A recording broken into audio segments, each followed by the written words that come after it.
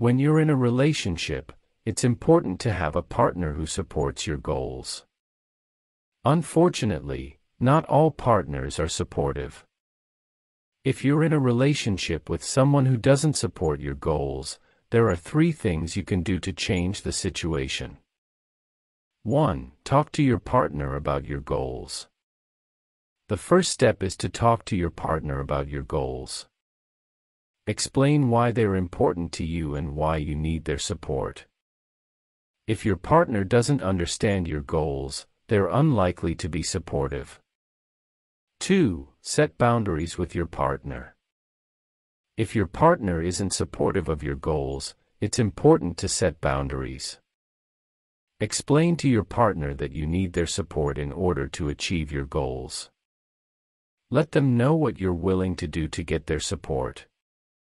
3. Find a new partner. If your current partner isn't supportive of your goals, it might be time to find a new partner. Find someone who shares your goals and who will be supportive of your efforts. No matter what you do, it's important to remember that you deserve to be in a relationship where you're supported. Don't settle for anything less.